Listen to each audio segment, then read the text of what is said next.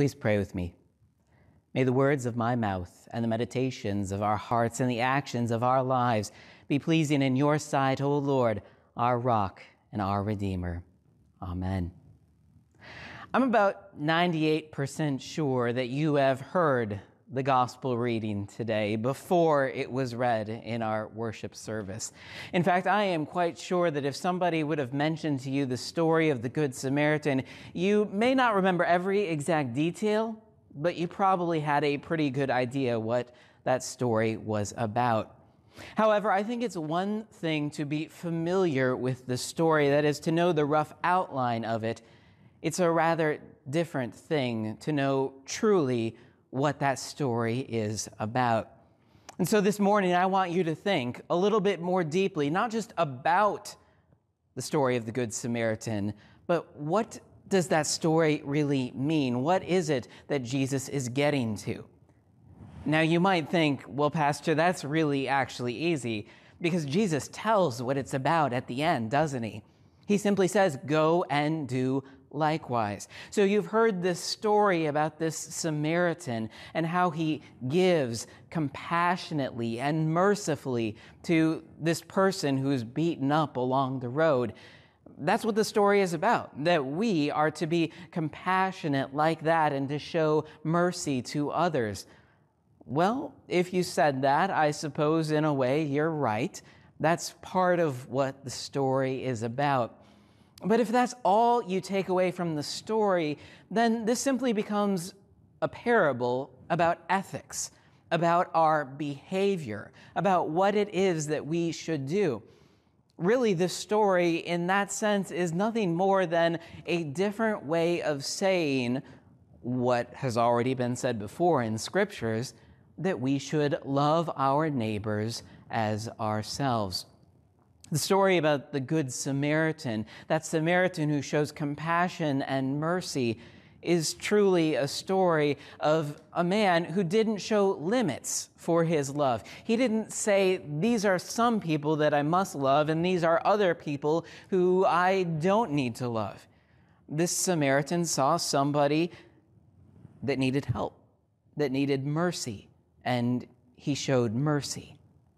So, again, if you think the story is simply about going and doing just like that Samaritan did, the takeaway for you is, well, who is it that I have limited my love to? Who is it that I am excluding from people that I need to love?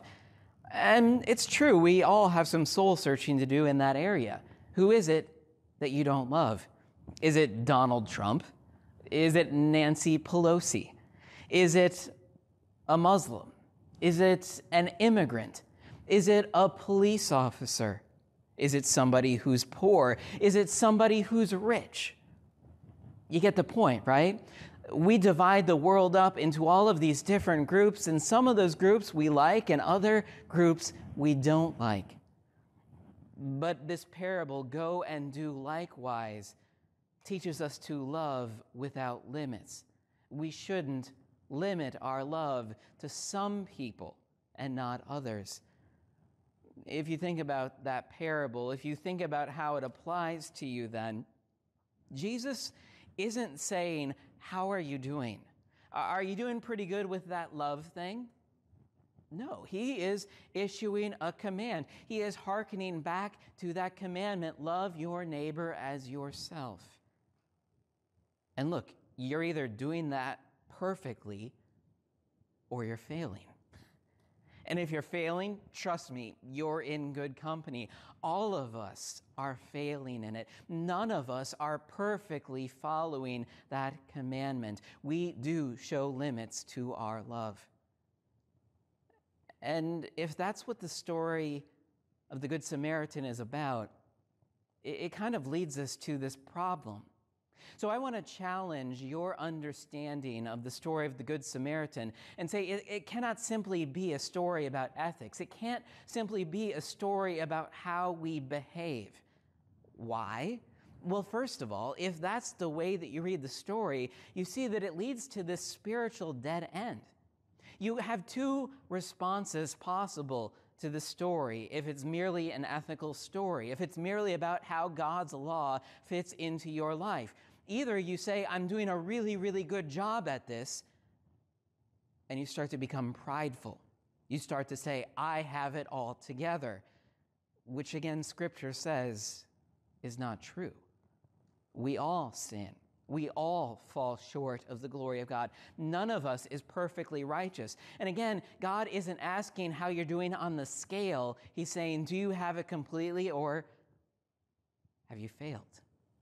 We've all failed. So therefore, the pride is not called for. Well, then that means that we're on the other side of this. We are people who are spiritually beaten up. We find that we have failed the test. And what does that do? It, it, drives you to despair. You think, how could I possibly be saved? I haven't done what God requires. There's no hope for me. The end. So, if that's how you read the story, I'm saying it doesn't lead us to a good place. You either are filled with pride and that's wrong, or you're filled with despair and that doesn't work either. But there's another reason why I don't think this is merely a story about ethics, about how we behave. That's the frame of the story. What's the context of the story? You see, Jesus doesn't just tell the story of the Good Samaritan out of the blue, does he? No. There's a reason why he tells it. In fact, there's a specific person that he's telling the story to. So, what's that about, and how does that help us understand the story? Well, there's a lawyer, that is to say, somebody who is an expert in the law of Moses, somebody who spent a lot of time studying God's commands, His word. This person comes up to Jesus and says, What must I do to inherit eternal life? Now, to you and me, we might say, wow, this person really is asking the right questions. They are thinking about what is the most important thing.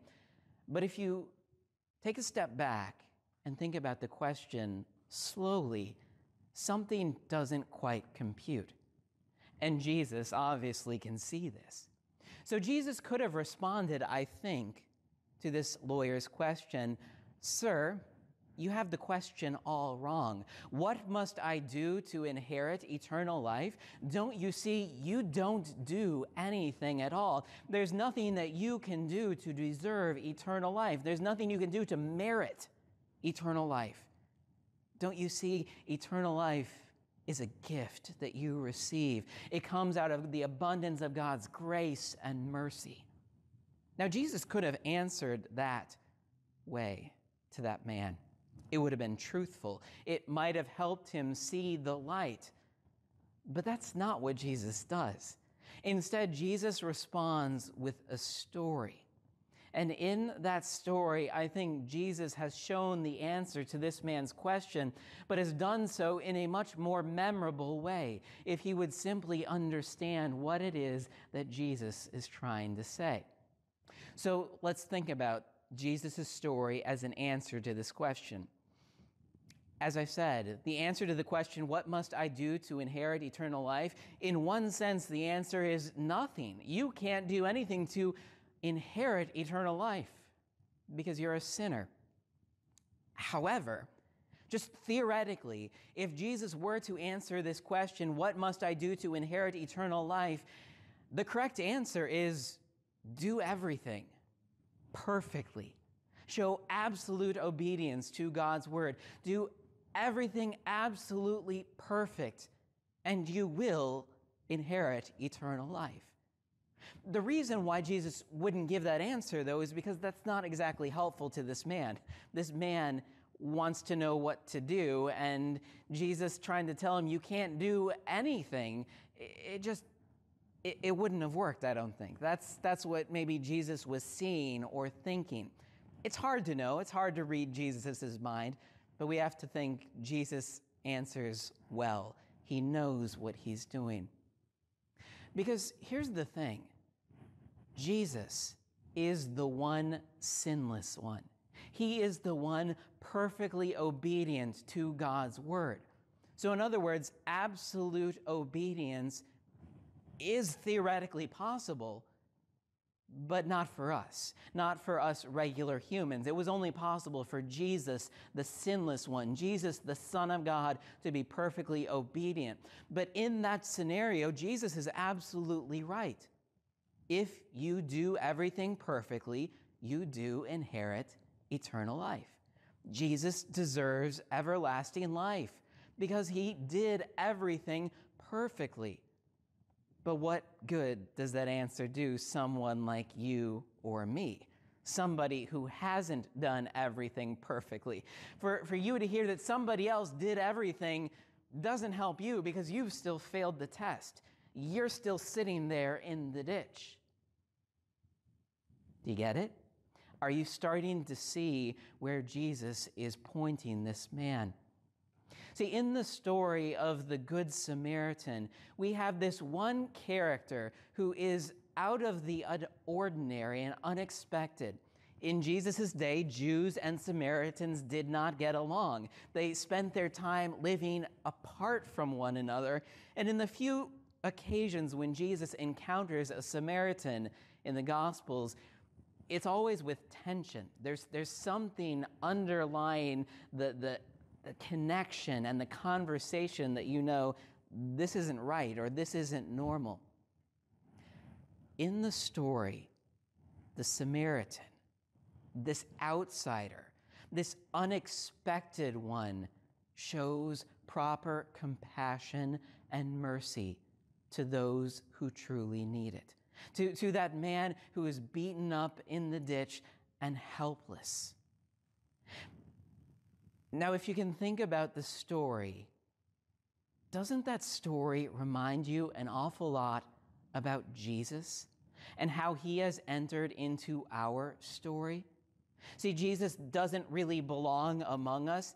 And in fact, in his own life, he was the outsider. He was the one who was rejected. He was the one despised by others, so much so that they put him to death on a cross kind of like Samaritans were despised and outsiders in their day. And yet, nevertheless, Jesus is the one who showed that unexpected love and compassion and mercy on those who truly didn't deserve it. And aren't we an awful lot like that man in the ditch? like the one who is in need of help and assistance and near death and can do nothing to help or save ourselves. But Jesus comes near.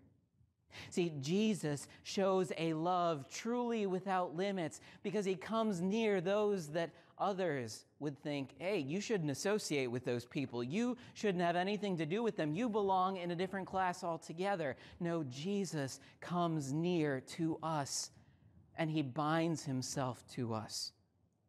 He gives of himself so that we would be made well and he makes the sacrifice of his time, of his energy, of his very life, so that you and I would be nursed back to health, so that you and I could live again, live a new kind of life, an everlasting life that wasn't possible for you and me. We couldn't have done that ourselves. What must we do? We could do nothing. But Jesus did everything. He heals us. He brings us back to life and gives us a new kind of life. See, Jesus shows a love absolutely without limits. His compassion and mercy knows no end. I think Jesus is the Good Samaritan in the story. And, and if, if that's right, then that changes how you read and understand the story. Because then at the end, when Jesus says, Go and do likewise, he's not merely issuing an ethical command do this perfectly or else. Rather, you have to understand what's going on in the story. And in the story, you have to understand that first, you're not the Samaritan, you're the one in the ditch. You're the one who can do nothing. You're the one near death. But you're alive. because of the Samaritan, because of his great sacrifice, because of his great love. And now, what do you take away from that? Just as that good Samaritan loved and showed compassion, you must also show compassion. But see, that's more than simply an ethical command, it's part of who we are. Jesus gives us his own life so that we would be more like him. Jesus doesn't just give us a model that we should follow, a command that we must fulfill. He has done all things perfectly we follow in his footsteps. And we follow in his footsteps no longer under our own power, no longer living our own life. We live because he gave his life for us. See, we follow his footsteps. We are like him. And it's not just that he's that example, is it? No. He is our strength. He is our life. He is our compassion and mercy. Go and do likewise. Yes, it does tell us how we should live in this life, but it's not merely an ethical command. It's a reminder that God first showed a love without limits to us. We are alive because of Him and through Him. And now that life, that love, that mercy should flow out of us to the people around us. And we dare not limit his love. We dare not say only some people deserve this mercy, only some people deserve this grace. No, it's a love without limits. And it is not our love that's the basis of eternal life. That's what the lawyer had wrong in the story. Jesus wants to correct that and say, the only reason you have any life at all is because of what I have done for you. Though you have rejected me, though you treat me like an outsider, and as Jesus loves his life into us, he calls us to live that love into others.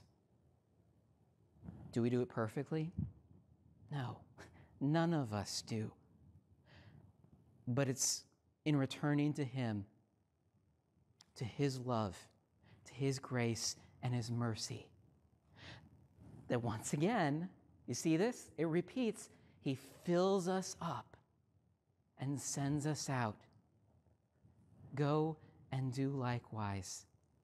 You have life because of Jesus. You have love because of Jesus. Now share that love without limits. Amen. And now may the peace which surpasses all understanding keep your hearts and your minds in Jesus Christ, our Lord and risen Savior. Amen.